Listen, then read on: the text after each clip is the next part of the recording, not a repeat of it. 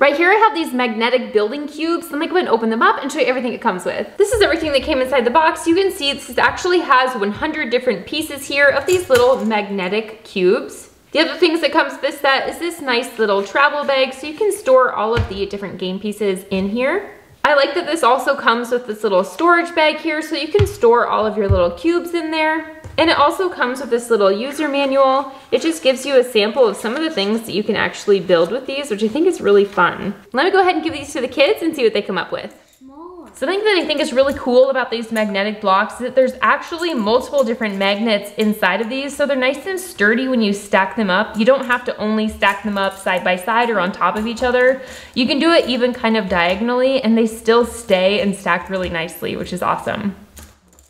You can see each of these little cubes are one inch by one inch. And I really like that these are compatible with other magnetic cube sets. It is really fun that this is actually a 100 piece set, which makes it really interesting with all these different nice, vibrant colors.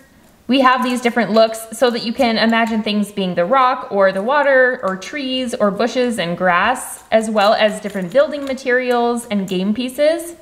I think it's really fun that this also comes with pieces that you can use to build characters. Honestly, I feel like this style of block makes it really fun for so many different ages to play with. I love that these are sensory toys. I like that they're STEM toys. You can use them to learn.